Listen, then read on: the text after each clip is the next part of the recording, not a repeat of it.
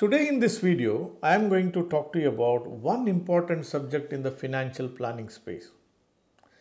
How do you control things if you were to be not there in this world? How do you make sure that next of kin or your dependents are in control of every bit of information pertaining to you? This is NRI Money Clinic for you, and I am Dr. Chandrakant Bhat, investment consultant and a financial planner.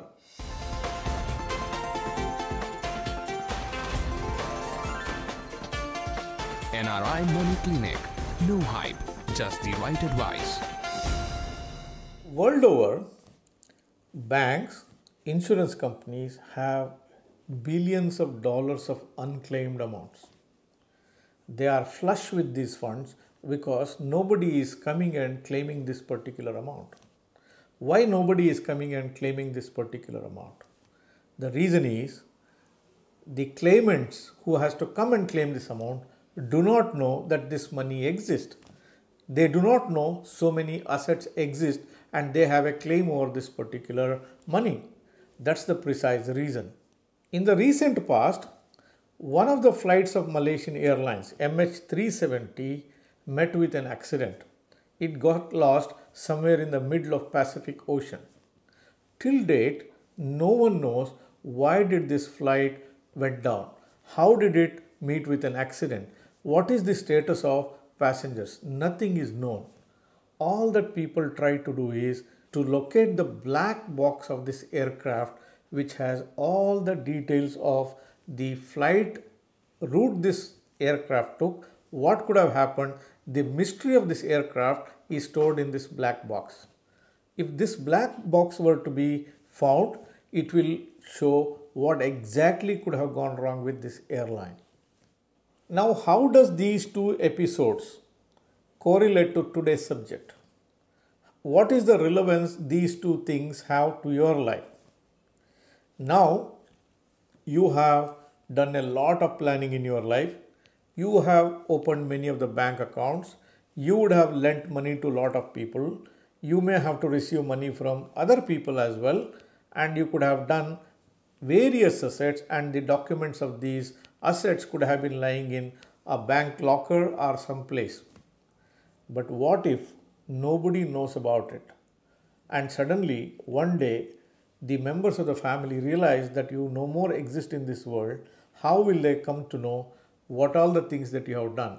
What all the things which rightfully belong to them, they being the legal heirs? That is where the relevance comes here in the life. In your life, you also need to be maintaining a black box just like the way every flying aircraft maintains it. This black box should have all the details of your life. Let us look at what all the things that you have to put into this black box a bit in detail now. Why should you maintain a black box in your life? It's for the simple reason that all your financial affairs when you are living cannot be discussed or disclosed to a lot of people. Secrecy is very important when it comes to question of your assets, your financial dealings and everything pertaining to your life. There are things which you cannot discuss with everyone. There are things which you cannot discuss many times with your children also. There are things that you cannot discuss with your friends. There are things which you cannot discuss with anybody else. All such things are very valuable information. Now, because you are not shared with anyone, if you were to pass out of this world, then all this information can be lost forever. The only way it can be passed on to the next generation or the legal heirs or the person to whom it is important is by maintaining your black box. That is where you need to be putting all the information of your life which is secret which should be known only when you are to be not there in this world will go into this black box. Now let us see how you can create a black box of your life. All that is required is a black colored file and a black wrapper paper. Get these two. Then inside this black file, write down each and every piece of information which you want to pass it on to the next generation. Then wrap it up with a black wrapper on this. Put a label on top of it. This should be opened only if when I am not there in this world. Then put this black file in a bank locker or in a safe place where others can find it. You should also be telling about this black file to at least a few people. Who could these few people be? One person could be your spouse. The other person could be your children. The other person could be a trusted friend. The other person could be your lawyer. Anyone is fine, but at least a couple of people in your close confidant group should know about the existence of this black file and where it is kept should this information be known to them and you should have clear instruction to them that this black file should be opened and instructions have to be followed if I were to be not existing in this world. This makes certain that what all the things that you have today will remain as a secret in your presence and this will be opened only if you were to be not there in this world. When I mentioned here the black box or the black file, it's just symbolic. You can use your own color, but it's easy to recollect a black color and it symbolizes death or darkness. That is why I use the term a black file or a black box. Also, people are also familiar with the black box in the aircrafts as well. Now let us look into each and everything that you have to mention in this black box or provide details of. The first thing that you have to put is where are your bank accounts? In which all the banks you have maintained the accounts. Please mention the bank account numbers. Also mention what is your PAN card number or what is your social security number or what is your passport number. This has to be mentioned.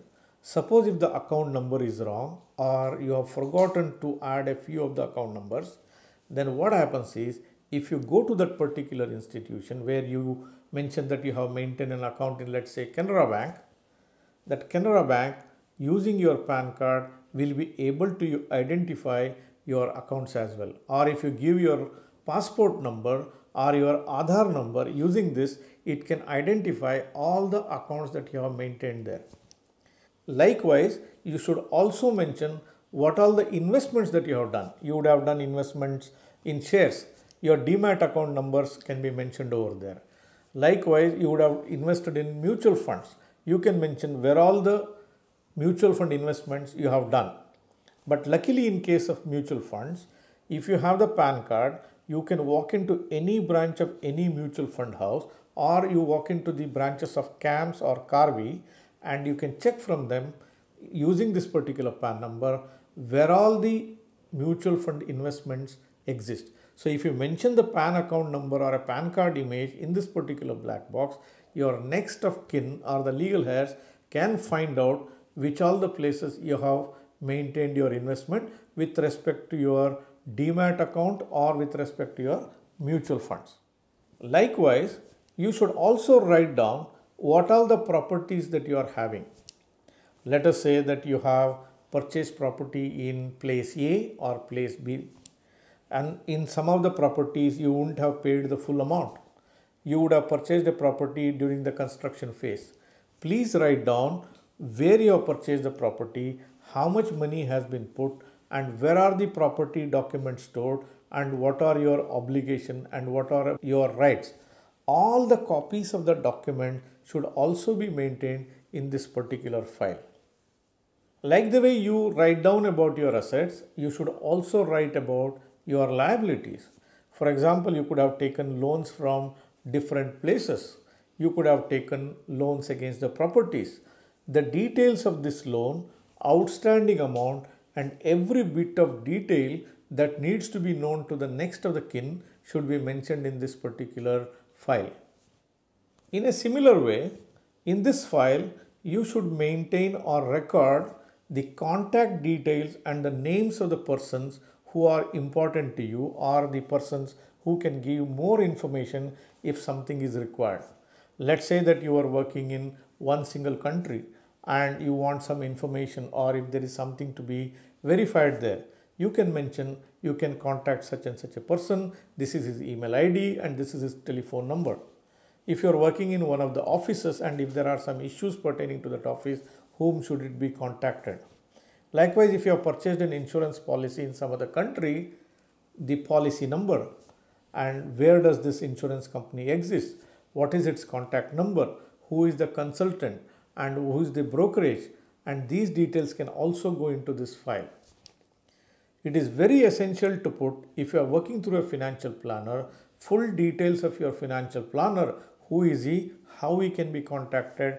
And what are his email IDs? And every bit of information can be put into this black file. And the next of the kin can contact the financial planner and pick up threads from there.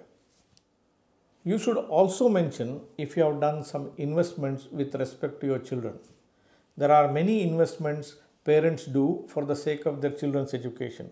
This belongs to children. They have done it when children are small. Children may not know about this at all. The only way children can know about it is only when you record these things and preserve this in this particular file. Make sure you maintain all the details in this particular file. You may think that if one person passes away, the other spouse will exist.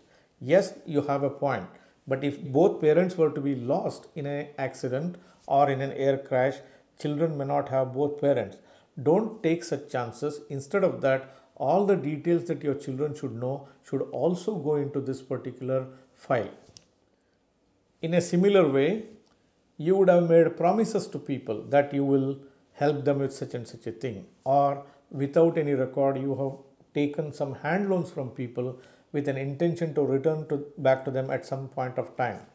Please make sure you record this. Otherwise, you might be putting these people into problem just because you didn't exist in this world and you have not mentioned about this to anyone. You can also mention about your wishes. For example, if both parents were to be not there, who should take care of the children? Or what could be your wishes? How certain things have to be carried out? who needs to be informed, who needs to be involved, who should be kept out, what all the things that needs to be done. All the information you think the next generation of people should know, you please put it in this particular file. Now you may have a will or you may not have a will. If you have a will, please mention in this file where is your will located, who prepared this will and how the will can be accessed this information can also go into this particular file. Otherwise, you have a will and nobody knows about it, then the will can also be lost without proper information. That possibility exists. The next question that could come in your mind is when should I create this black box or black file? Should I create it when I am about to retire, when I have crossed 45 50 years of age, or when I am 65 70 years of age? at what age of your life should you create this black box? The answer to that question is you should create it as early as possible. Don't push it to the last day. You can create in the beginning of your career. All that is required is create it, record all the information, and as and when things change over a period of time, maybe every year you yourself open this file and update all the things. You could have closed some of the loans. You could have added some assets. Things could have changed. All the things that needs to be updated in this file you keep updating on a yearly basis but make sure that you have this black file and inform it to concerned person. As i said where is this black file kept? It could be your spouse. It could be your children. It could be a close friend. It could be your lawyer or any other person whom you are very confident that can pass on this information. Dear viewers, if you think I have added some value to you, please like this video. If you are yet to subscribe for this channel or if you are watching this program for the first time, please press the subscribe button and press the bell icon. Don't forget to share this video with your near and dear ones. Thank you very much for watching this episode on NRI Money Clinic and I'll be back with you with one more episode very very soon. Press the bell icon for more details and subscribe our channel.